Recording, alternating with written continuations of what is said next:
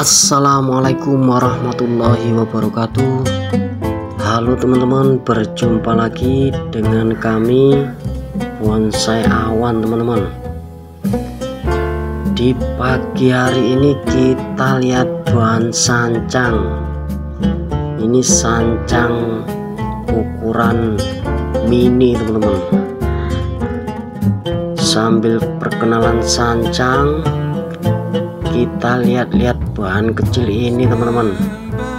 Mumpung masih pagi kita program ulang bahan sancang ini. Untuk mendukung channel ini jangan lupa like subscribe komennya dan share video ini pada teman-teman yang lain. Kita lihat sancang bareng-bareng teman-teman. Sancang ini bekas apa ya? Bekas potongan sayang teman-teman. Jadi kita rawat. Sampai sekarang sudah tumbuh subur teman-teman. Untuk bahan sancang sendiri seperti ini teman-teman. Kita lihat daunnya seperti ini teman-teman.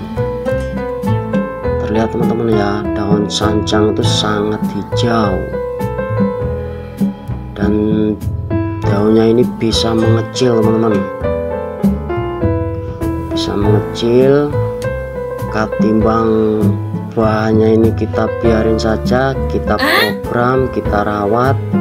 Mudah-mudahan ke depannya bisa lebih apa ya lebih enak lagi dipandang. Ini terlalu banyak sekali tunasnya teman-teman. Jadi mau kita sortir teman-teman yang bagian mana yang akan kita rawat. Jadi biar terlihat teman-teman tidak usah nunggu lama-lama langsung aja kita sortir daunnya ini. Ini baru kemarin dipotong jadi sekarang sudah berhamburan atau pertumbuhan tunasnya sangat banyak lagi. Ini nanti saya sisain berapa batang aja teman-teman ya. Jadi terlihat yang mana yang mau dibesarin atau yang mau kita rawat untuk ranting bagian atasnya ini teman langsung aja kita buang-buang saja. Gimana di pagi hari ini teman-teman? Sudah pada ngopi sarapan atau sudah beraktivitas atau masih dalam perjalanan atau libur di rumah-rumah saja? Kita lihat-lihat kembang teman-teman ya.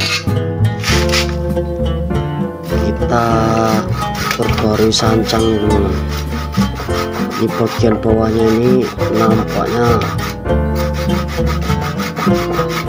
angkanya tidak berguna ini teman-teman. Tidak enak dipandang jadi kita buang saja kita geraji teman-teman ya.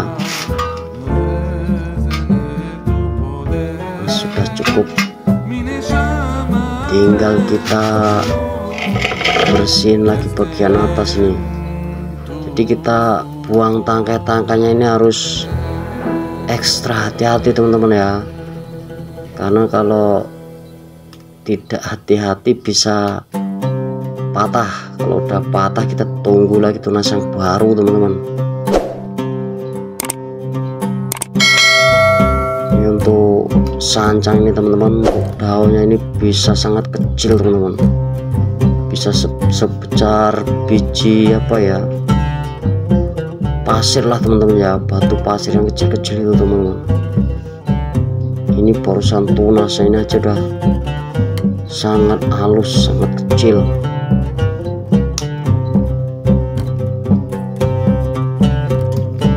Sancang ori.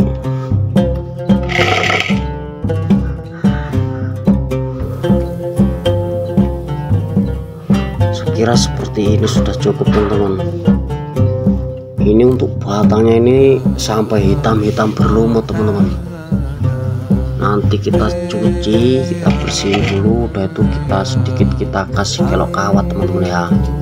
Supaya ada sedikit gerak kecil-kecil seperti ini harus kita rawat teman-teman ya. Harus kita sentuh dengan tangan kita supaya apa ya terarahkan teman-teman ya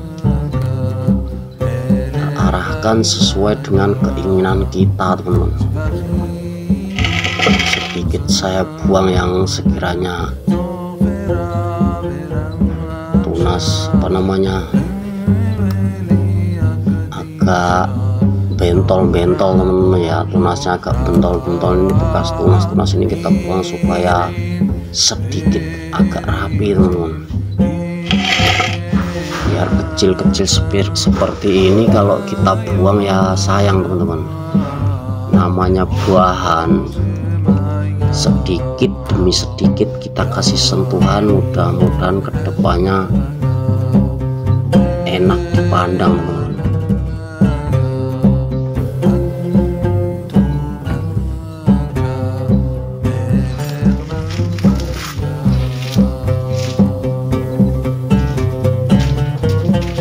sekarang kita cuci teman-teman. Kita sikat-sikat ini batangnya supaya terlihat kulit buahnya teman-teman ya.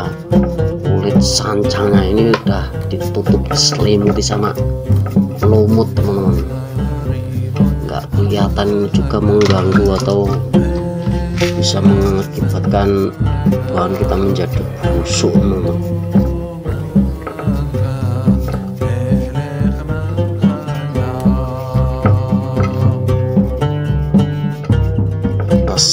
sikat-sikat teman-teman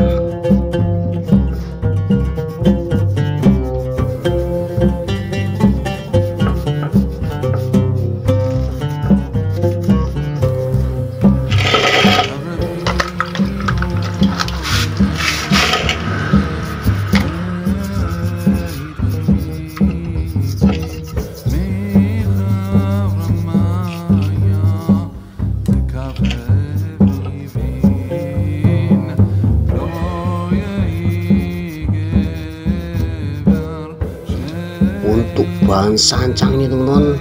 Sangat mudah perawatannya teman-teman. Kita cukup menggunakan media tanah pasir sama pupuk kandang aja bisa tumbuh subur teman-teman. Jadi mungkin nanti kalau sudah jadi bahan bonsai atau jadi bonsai yang sudah maksimal teman-teman kita bisa menggunakan media seperti yang digunakan pada umumnya teman-teman. Jadi kalau untuk dasar seperti ini kita cukup menggunakan tanah. Tanah atau pasir yang ada di lingkungan kita teman-teman. Teman-teman bisa praktekkan di rumah bareng-bareng teman-teman ya. Kita sambil belajar bareng-bareng. Seperti apa sih sistem perawatan bahan sancang ini sangat mudah sekali teman-teman. Langsung aja kita kawat kita kelok-kelokin supaya ada gerak dikit teman-teman ya. Karena sancang ini kalau tidak dari kecil seperti ini dia besar sedikit patah teman-teman. Apa kata bahasa Jawanya itu sangat ketas gampang sekali patah teman-teman masih kecil kita kawat saja. Sedikit aja kita kasih gerakan teman-teman. Supaya terarahkan teman-teman ya